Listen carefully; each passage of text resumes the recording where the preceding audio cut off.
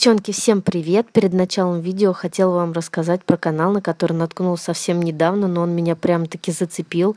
Канал Юлии Милан. Она ведет интересный влог о своей жизни в Италии, о путешествиях со своей семьей. Все это она снимает на видео. Также на канале Юли можно найти интересные видео о прическах, макияже, покупках и парфюме обзоры косметики и даже интересные рецепты. Ссылочку на канал Юли я оставлю в описании под видео. Ну а мы давайте начнем. Сегодня мы будем делать маникюр на правой руке. И перед началом я хочу показать вам свой аппарат. И хочу показать вот такую волшебную кнопочку Forward и Reverse. Это положение, э, которое меняет вращение фрезы. Форвард – это когда фреза крутится по часовой стрелке.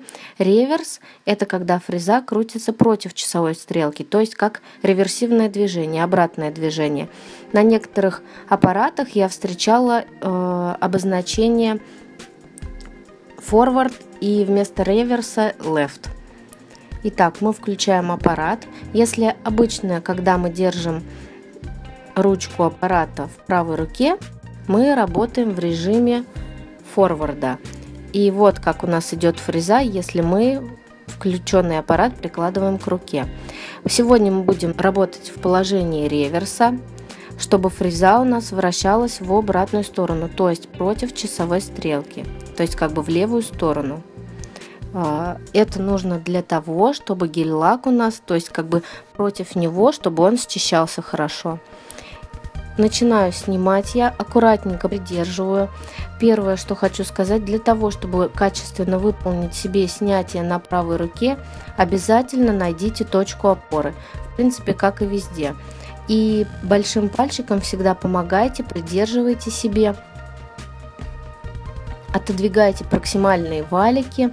Э, зачищаю я сначала центральную часть, как всегда, потом зачищаю правую часть Далее зачищаю серединочку и аккуратненько, вот этот бачок тяжело проработать. Я облокачиваюсь на пылесос и немного руку отодвигаю, чтобы достать в труднодоступных местах. И потом аккуратненько убираю длину. Фрезу обязательно держу под наклоном, чтобы она не отбивалась об ноготь. По такой же технологии снимаю все оставшиеся пальчики огрубевшая кожа у меня на пальчиках. И очень долго я носила свой маникюр именно на правой руке, чтобы отрастить, чтобы показать наглядно, как нужно все-таки обрабатывать себе.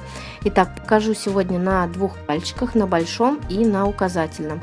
Большой палец на самом деле самый простой, потому что указательным пальцем мы можем отодвигать кутикулу. То есть Почему сложно делать маникюр себе на правой руке? Потому что, во-первых, мы плохо владеем левой рукой, а во-вторых, мы не можем отодвигать себе кутикулу. То есть нужно очень аккуратно и самое главное, без нажима на фрезу работать вот в таких положениях, как я показываю. И не прыгайте с места на место никогда. То есть сначала обрабатываем правый валик, если вот смотреть так по отношению ко мне – потом обрабатываем центральную часть, потом обрабатываем левый валик. Указательный пальчик я начинаю обрабатывать вот так. Переворачиваю ручку, большим пальчиком я отодвигаю кутикулу, обрабатываю этот конец, опять облокачиваюсь на пылесос или на стол, если у вас нет пылесоса, и таким способом вы отодвигаете, как бы открываете кармашки. Конечно же, заранее я все пушером или апельсиновой палочкой, как вам удобнее, кутикулу отделила от ногтя. Щечкой фрезы вычищаем постепенно весь птеригий и подкутикульное пространство. Вот приблизительно такой результат у нас получился. Кстати, девчонки, кто спрашивал, какие ножнички, у меня Мерц 1355. Эта модель мне очень нравится, она острая, удобная, тоненькие кончики, хорошо подлезает под кутикулу. В общем, я ими очень довольна. Ножницы, конечно же, покупаю сразу с ручной заточкой, а потом, когда они тупятся от стерилизации и дезинфекции, я их отношу. Ну и, естественно, от использования.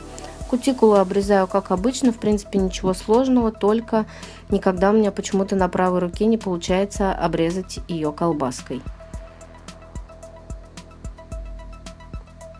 Почему-то, когда я это видео снимала, потом я смотре... пересматривала это видео, очень страшно смотрится, как я срезаю себе кутикулу, но на самом деле она очень сильно выросла, просто это не совсем заметно, но на себе-то я чувствую, что я делаю, поэтому практиковалась я раньше всегда только на себе.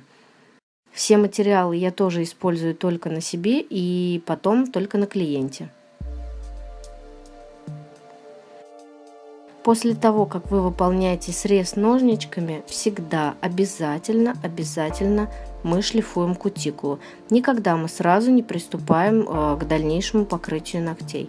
Шлифую я кутикулу так. Так же, как и делаю маникюр, только сначала прохожусь под кутикулой, потом сверху. И переворачиваю пальчики. В принципе, здесь даже не нужно ничего объяснять. Все, я думаю, видно на экране.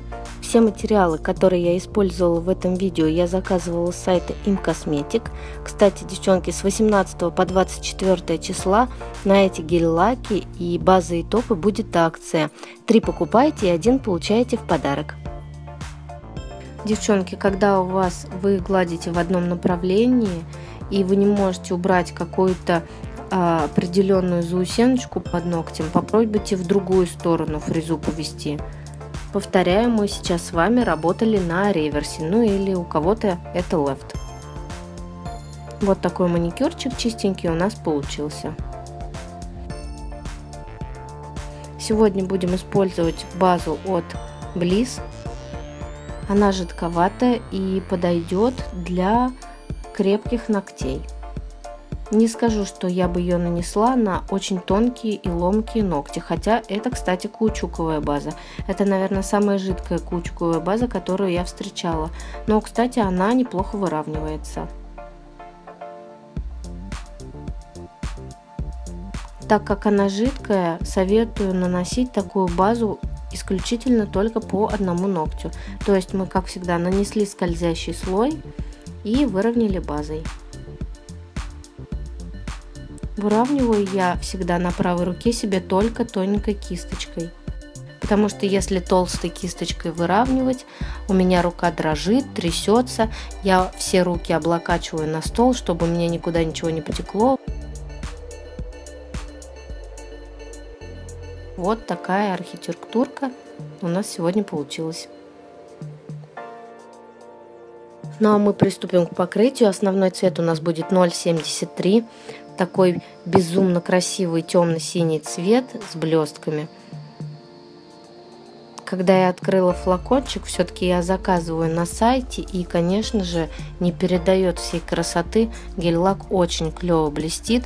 Еще кто давно наблюдает за моим каналом, видели, что у меня достаточно много гель-лаков этой торговой марки. Мне они очень нравятся, потому что у них средняя консистенция, не жидкая, не густая.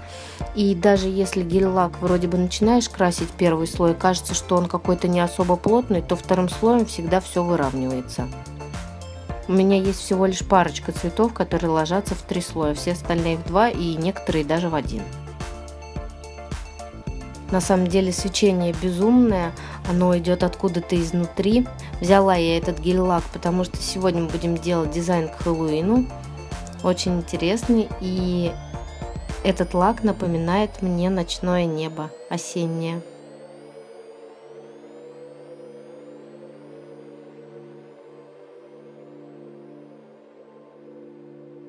После второго слоя я аккуратно прокрашиваю под кутикулой и боковыми валиками.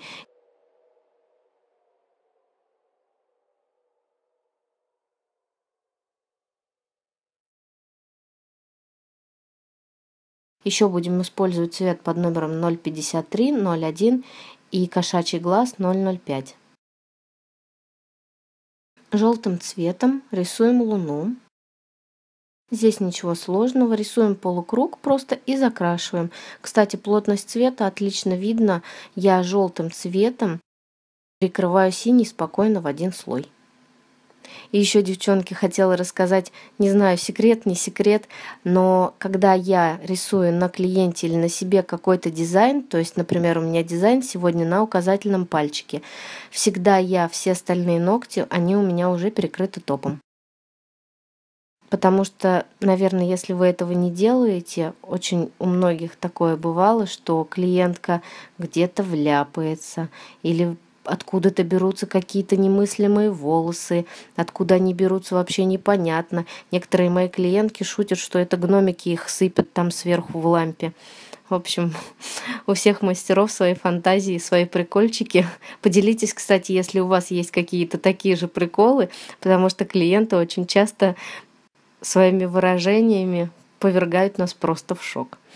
Итак, а, ну а мы тем временем просушили, сделали обводочку такую, некоторое свечение на луне. Это желтый смешанный с топом. Просушили и потом рисуем черным смешанным стопом кратеры. Розовым кошачьим глазом я рисую такие еле заметные небольшие звездочки.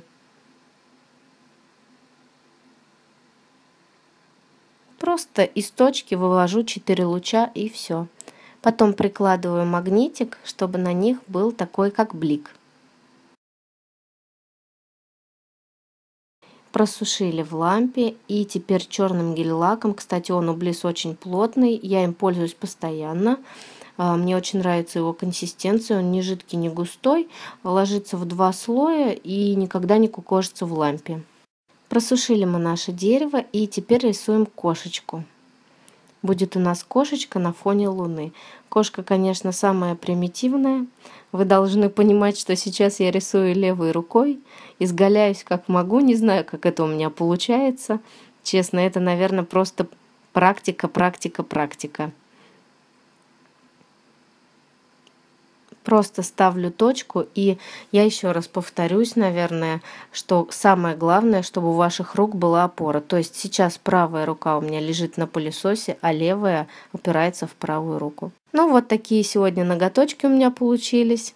Дизайн к Хэллоуину – тоже простенький, нарисовать его сможет кто угодно. Если вам понравился этот урок, ставьте лайки, подписывайтесь на мой канал. Заходите, кстати, на мою страничку в Инстаграм, там очень много интересных дизайнов. Я уверена, вы найдете что-нибудь полезное для себя. С вами была Таня BestNail. Всем пока!